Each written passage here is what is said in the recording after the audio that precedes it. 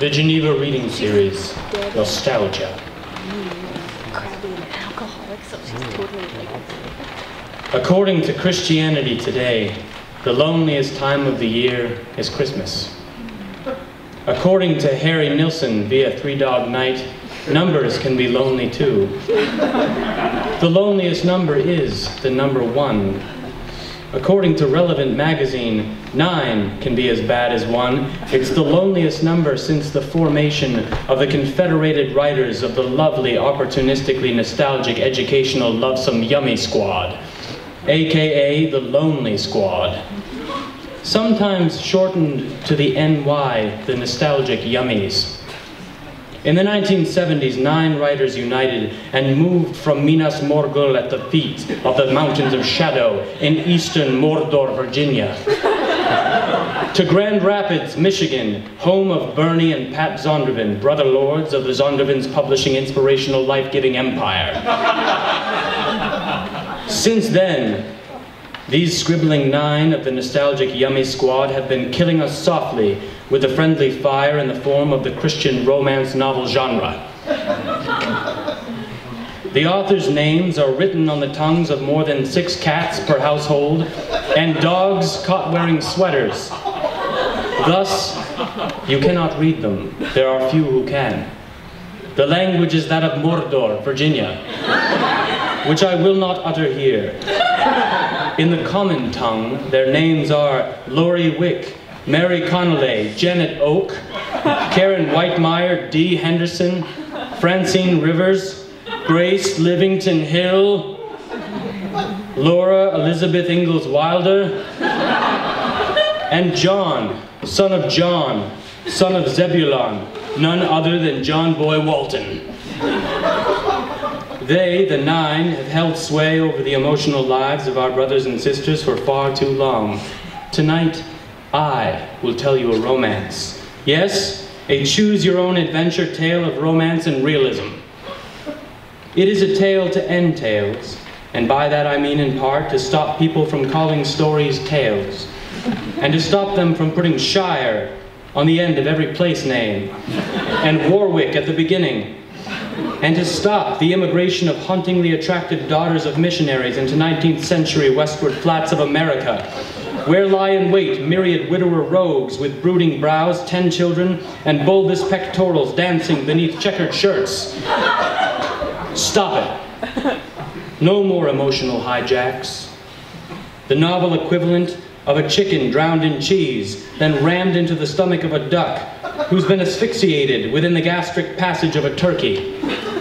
Stop it. Wick, John Boy, you farmers of emotional turducken. Here's a feast to end the famine. Let's put the big pink elephant of loneliness in the room into the ground. I title my story, The Princess Sophie's Heart Whispers of Moonlight where the wild rose blooms beneath canopies of bamboo and lace when calls the heart to a bride most begrudging only when love comes softly, colon. The measure of a lady made to match a preacher from the series Timber Ridge and Rocky Mountain Memories and Reflections by the Brides of Coldy Creek, the seven brides and daughters of Captain Kincaid, Canadian Kensington English Garden Secret Party Pants, Book One. Part One, The Howling Wilderness. I introduce our hero. I am Rig Ripton Makepeace McLick Lipston, father of five girls and ten boys, all born at once out of a dead woman, whom I shall never not love. I live in the worst place in the world, Del Mar, Nevada, 1909. I do not know what this accent that I have is. Only that I acquired it having worked 11 years on the quartz mines of Monkey Gulch, named after Monkey Gulch McGee, a crazy person who is dead, and whose corpse did never rot in so dry and silicon-infused a place as Monkey Gulch Delmar. Gold I found in the quartz, refined it. Silicon dust I breathed, got poisoned. That is my accent. It is called silicon poison tongue. Sometimes I will sound southern, Sometimes I will sound like a linguistically calicoed moron. Silicon. Thank you, Mr. McLipston. Lipston lives down at the end of Blake Gubler Road. He's 15 audacious and beautiful children work on his sheep and goat farm, while he, for a mysterious reason, crawls down into the mines every day, hacking his way through the foundation stones of Nevada, looking for quartz in such a way that his body is hulking and bulbous with muscle. His body looks like a nest of pythons that swallowed a cabbage patch of bowling balls. In the caverns where he labors every day, yes, for unknown reasons, there the sugary underworld dew seeps into his skin, and thus his sweat has become sweet nectar that the honeybees do suckle while he sleeps upon the bare ground beneath the stars every night, weeping tears from his ducts and said sweety nectar from his airtight poreholes. The bees hum his laments. For back, back in the deep recesses of his past lies a secret so dark, so very dark, that nary a maiden in Delmar dare say his name, Rig Ripton Makepeace McLecklipston, for fear of swoons and fainting fits. There he lies. Let us leave him for now. Tossing and turning, making diamonds of the dust, by rolling his heavy body upon the Nevada sands. Our eyes now turn to Konoshima Island off the coast of Japan, where the lost tribe of the Brazadaguls live amongst the overrunning rabbits that fly over the jungly terrain. Their feet a thunder rumble as the herd stampede after prey, and there we find, in a tragic state, the missionary family, the Lambrights. Eli Swartzentruber Lambright and his wife, Naomi Ruth Miriam Marion Martha Lambright, and their daughter, oh, their daughter, Eva Lustella Lambright, of dove-like eyes, teeth like sheep, her hair like goats. She is lithe as two gazelles running from a pack of less impressive gazelles. She is two Penelope Cruises running from a pack of Drew Barrymores. Eva Lustella Lambright, adventurous, stubborn, extremely humble, midwife to a million rabbits, and professional warbler of Braza Dagul tribal songs. She sings sweetly o'er the greeny hills, haunting the Daguls with her beauty, her pearl-like beauty and purity and the mysterious thing in the center of her head that longs for America. But wait, tragedy. Let us look now upon the Lambrights mourning for their lost daughter, carried away by a band of eunuch pirates who'd heard tell of a great goddess of the rabbits. Born out of the thunder of their feet, they found her, they stole her. If you decide to send the eunuch pirates along Magellan's Run to sell Eva to the cannibalistic Wata Wata Awawa tribe, turn to page 19. If you decide to send the pirates around the world to California, to sail up the mysterious Delmar River all the way to Delmar, Nevada, and to die, every one of them but one, having given their bodies over to death by the exhaustion of incessant devotional singing, which is the dessert food of young Eva, then turn to page 19 and a half. 19 and a half. 19 and a half. What? What? 19 and a half. Page 19. The Wata Wata Everywhere tribe. The eunuch pirates take Eva along Magellan's Run to sell her to the cannibalistic Wata Wata Everywhere tribe. But Eva contracts ship biscuit fever and dies. and Cthulhu rises up and eats the ship and all the eunuchs. Try again. What? What? 19 and a half. Ah, the ship sails to Delmar, Nevada. Poor Eva, our defiant heroine, she is filled with amnesia by sunstroke. She only remembers her own name and a hundred thousand praise songs and the entire Bible and John Foxe's Book of Martyrs as well as Pilgrim's Progress, which was tattooed onto the soles of her eyelids by the Braza de Ghouls. Eva and the last surviving eunuch named Eunuch. A deformed and tiny young man with lots of wisdom and no chance of ever being an actual romantic foil stand on the shores of Delmar in the dead of night. They see a light to the east and begin their journey over the desert sands. If you decide to make Eva march all night, turn to page 17. If you decide to make Eva camp at the shores of Delmar and wait until morning to travel, turn to page 16. 17? What? What is this? Page 16, make her camp. Eva sets up camp at the shores of Delmar, intending to wait until morning to travel. During the night, she contracts water elf disease and swells up and dies. And wolves rise up and eat the corpse and camp, and eunuch.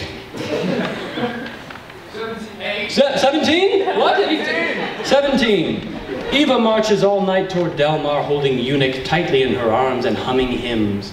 And somewhere out in the desert night, Rig Ripton Makepeace McLick Lipston stirs in hidden diamond dreams.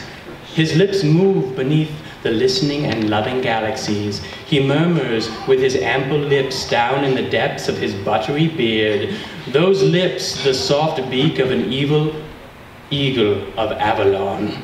Yes, he murmurs, I'll, I'll never tell my secret. My, my disastrous secret. The secret that gives the impression of a sinful past. A tantalizing secret. Before we meet Eva, let us give her a desert as it was, filled with wolves and menacing crickets and a dangerous strain of airborne biliousness, in addition to creaking cacti and moaning seminal winds, blowing like they're never gonna blow again, calling to you like a long lost friend, though they don't know who you are. so, in quadrant one, we need wolves. Wolves? No. Oh. And growls, various growls. Okay, remember. Quadrant two, we need crickets and creaking cacti.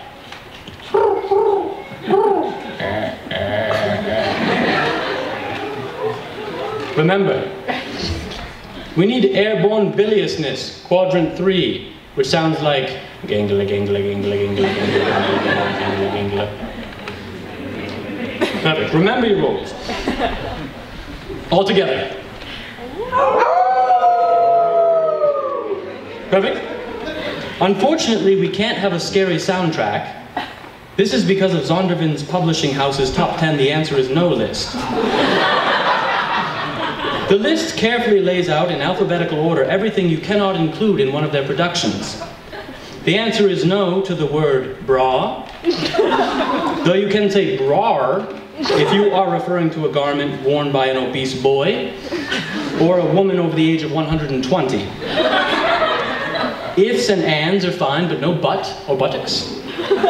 You can say derriere or backside, though it is not recommended. Crap is out, as is dagnabbit, duty, dang, darn, dern. Try blast instead. You can't say father when used to describe a religious official. No fiend, for heaven's sake, or Pete's. For the love of Mike, you cannot say gee, gosh, golly, Halloween, or harlot. Sheesh is an acceptable replacement. The word heat is offensive. No heck, holy cow, hot, hottie, no hunk. You can't say the word need or hunger when used to describe a non-food focused state of being. Nudity is repugnant. Even the nudity of animals is unacceptable, as it is clearly a slippery slope. Simply put bells on your donkeys and sweaters on your dogs and cats. Don't say pee, poop, passion, or priest, or saint anyone. Don't curse or swear or promise anything by saying, I swear. For example, I swear by the moon and the stars in the sky. And I swear like the shadow that's by your side. Shadows can't swear. They cannot even speak. But your Christians in moments of frustration and pain can say fiddlesticks, Great Scott, Merlin's pants, Barbra Streisand.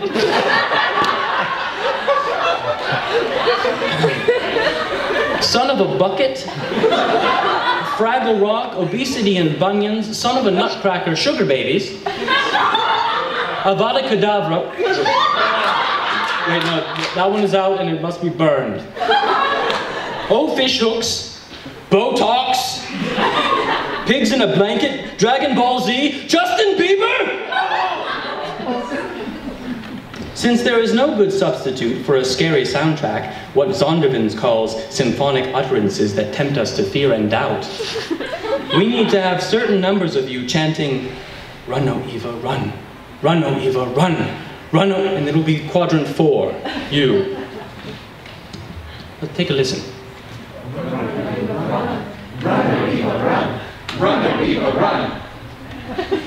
Beautiful. Do we have wolves still? We have crickets and creaking cacti.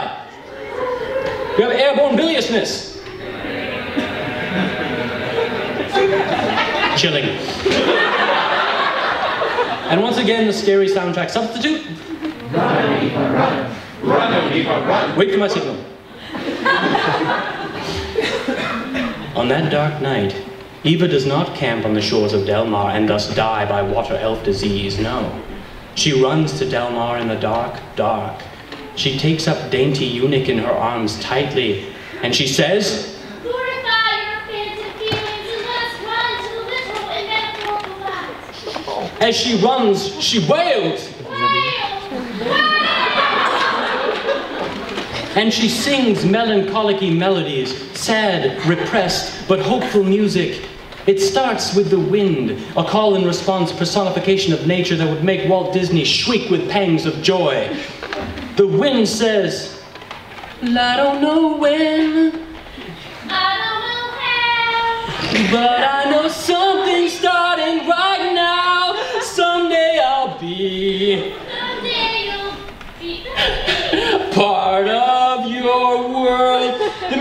soars a long distance. So loud as Big Ripton McPeace McLick Lipston begins to rise out of his hidden diamond dreams. Scary soundtrack, go!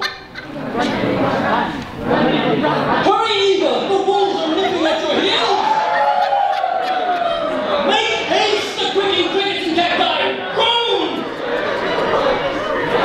Airborne millionaires rose!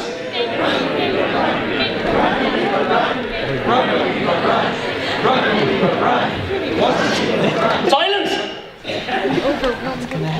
Suddenly, a hand reaches out of the dark and seizes her, the fingers wrapping all the way around her entire waistline.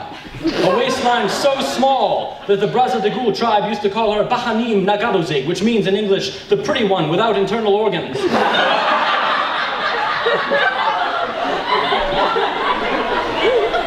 grabs her and she cries out, Son of a bucket! You move, you die. The wolves are out tonight. I will kill you myself if you do stir and blubber again. You led the airborne biliousness right to me. I'll never get over this first cruelty. Not in a million years. Not even in 17 chapters. Not even if there's some very reasonable reason why you just spoke to me with such violence. Though I must admit, and only to my diary, that my heart did thrill when he wrapped his fingers around my organ's cord. And I will never get over her foolishness, though I must admit only in the echoes of my sacred prayers within the caverns where I secretly buried my wife, that my heart did thrill when I wrapped my fingers round her heavenly hollow center and likely fecund womb space. Grumpy sir, the wolves! McVick Lipston falls to his knees and begins a prayer so profound that the wolves don't notice that he loads his blunderbuss gun with diamonds of his troubled sleep. He fires at them, boom! And four score and seven wolves die by diamonds. Score, McLick, America. Wolves, zero. You beast! They were just dogs! Oh, Merlin's pants, get down. The airborne biliousness comes. Say what? At that, Rig Ripton tackles young Eva to the ground while the biliousness flies overhead. And with the innocence of two corn stalks lying together beneath a great irrepressible wind, they lie together. She smells his neck. It smells of cedar and fresh cut grass and caramel candy. The sweet dew of the underworld caverns weeping from his drum-tight pores as he remembers the biliousness that took his matchless wife. His tone! His tone! Now we understand his tone. If only she knew, it would explain a lot. I'll never get over his tone. Pox and Botox, you literally gutless sugar baby. Saving you, I have acquired a touch of the airborne biliousness. What is airborne biliousness? A complex of symptoms comprising nausea, abdominal discomfort, headache, and constipation, formerly attributed to excessive secretion of bile from the liver. Oh, Barbra Streisand! Don't curse so. What do you know about it? What do you know about biliousness? I have amnesia. That's something. Is it? Well, I guess I don't right remember if it is or not. Though I seem to remember something. Eva tries to remember something, and McLick says something like, The wolves and cacti and biliousness are easily startled, but they will soon be back and in greater numbers. Before they depart, Miklik points at the living lump that Eva cradles in her arms and says, What is that? A eunuch. Okay, So they walk back to town, at first in silence, and then they start to have a conversation. Eva talks, talks, talks, but McLick doesn't seem to mind. In fact, Eva says, I'm talking a lot. It is a one-sided conversation. Do you mind? and McLick says, no. And so Eva goes on talking and working out her amnesia one word at a time, though it all sounds like dreams to her. This land of rabbits and jungle. She becomes frustrated. I am frustrated. She has amnesia. I just can't remember who I am. She takes out a pocket mirror and looks into it. Look at me. You may think you see who I really am, but you'll never know me. Every day, it's as if I play a part. Now I see, if I wear a mask, I can fool the world, but I cannot fool my heart. At that moment, something very interesting happens to McLick and his voice. Who is that girl I see? Staring straight. Back at me, when will her reflection show who she is inside? They cherish the moment and continue walking all night into early morning and into the sheep and goat fields of McLick. Sometimes Eva trips and he takes her hand. They smile bashfully at one another and they see all this somehow in the pitch dark. At one point, when Eva hungers greatly, which is okay to say because I'm referring to food hunger, Miklik removes a spaghetti dinner from his ration satchel and they do feast.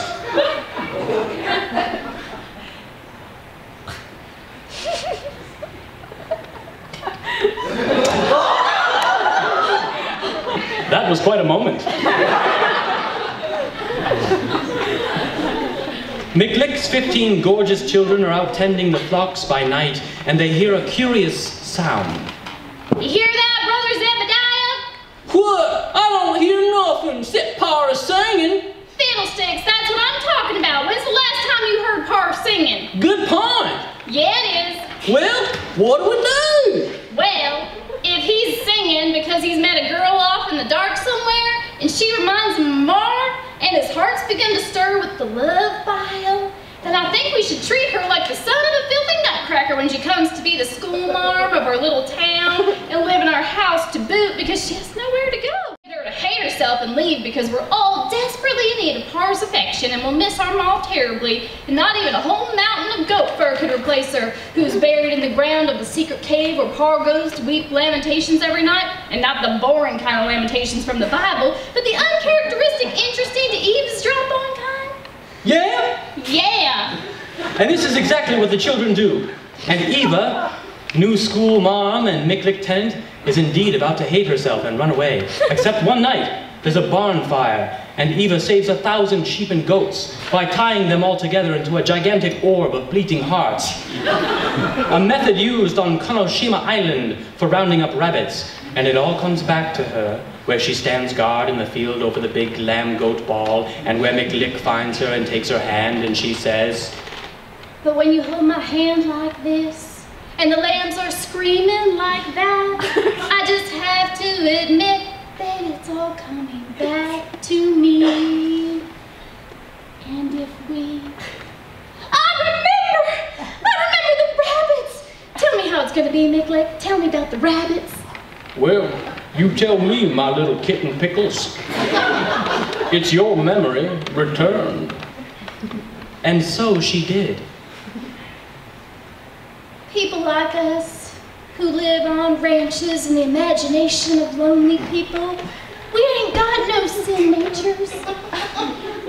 We get little warm feelings that feel like sin, but then they can be explained away in a couple of weeks. Like your tone. Remember that? and like the reason my dress is so tight, it's just to support my organless core, so I don't write collapse, see?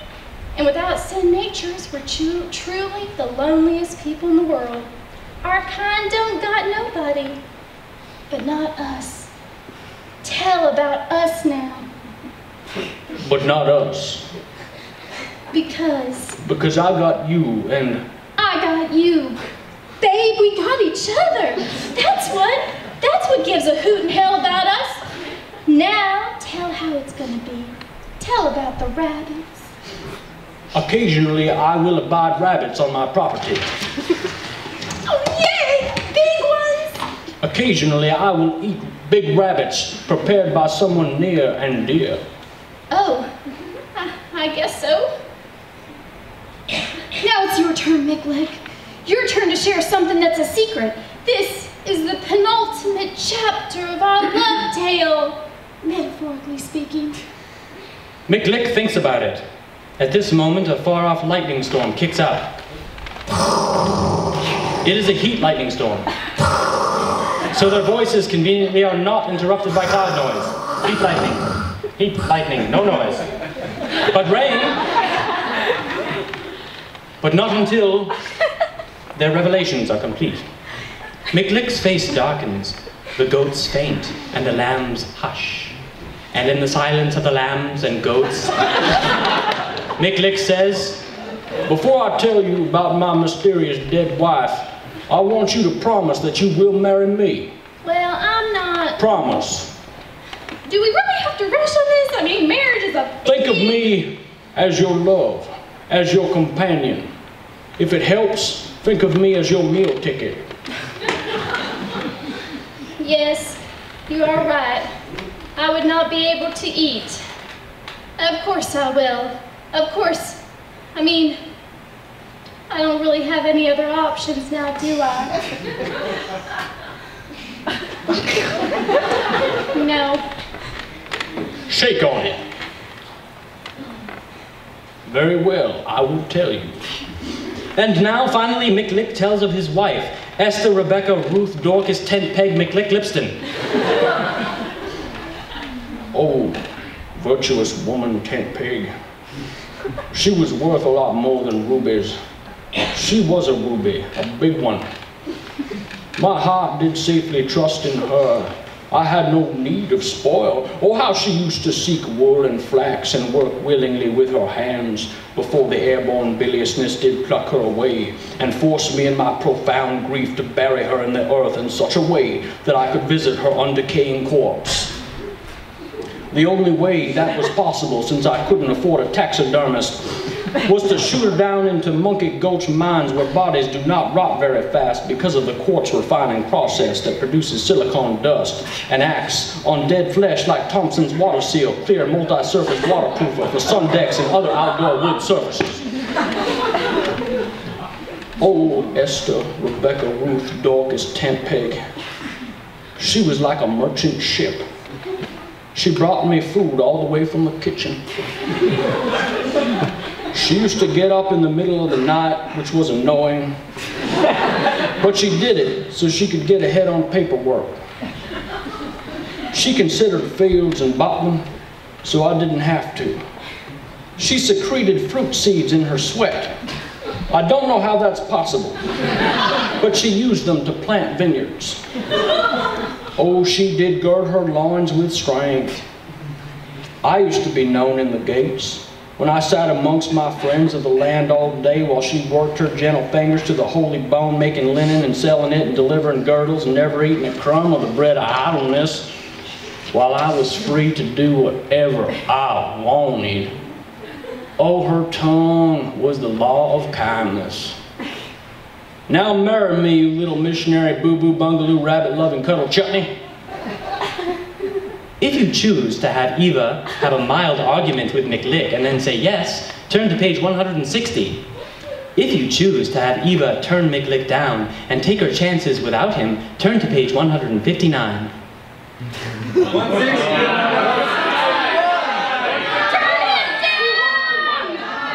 him down! Page 159. Eva turns McLick down and contracts putrid face disease and lockjaw and dies. Eunuch eats her corpse.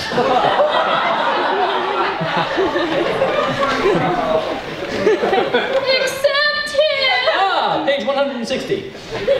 Eva has a mild argument with McLick and then says yes. Marry me, you pooky pumpkin puppy. Well, You swore you would. I know. An oath is a contract binding. I know! You cannot retrench upon it or retract. I will see to it that you are nailed to the metaphorical wall of your broken promises to me. Okay, okay, I'll marry you, Justin Bieber! I believe that she will. And then the rain fell.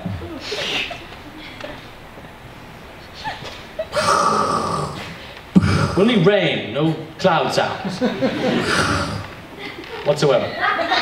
They were They were married the next morning. I need say nothing more. For marriage is the great last word and thing of such a tale as this was. It is the end that justifies all means, even the meanest. It is that happy merger of two corporations that used to compete, but now form a monopoly that prevents potential competitors from competing in the free market. It is that egregiously elaborate and dull board game originally published by Parker Brothers in the United States, a game deceptively subtitled The Fast Dealing Property Trading Game.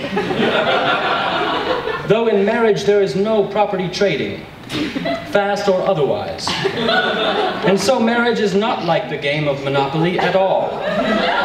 In that the get out of jail free card is ineffectual in real situations.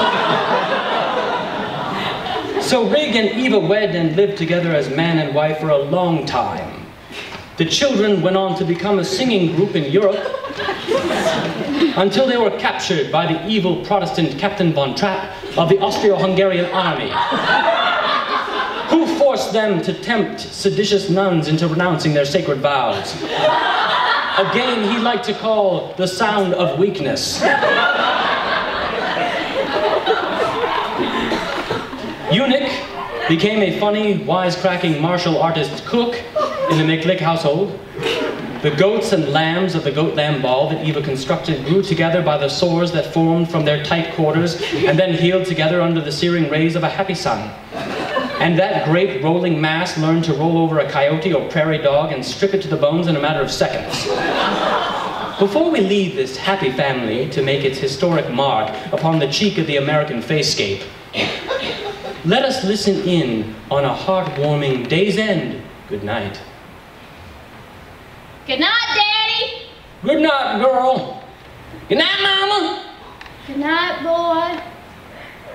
Good night, Mr. and Mrs. McLick.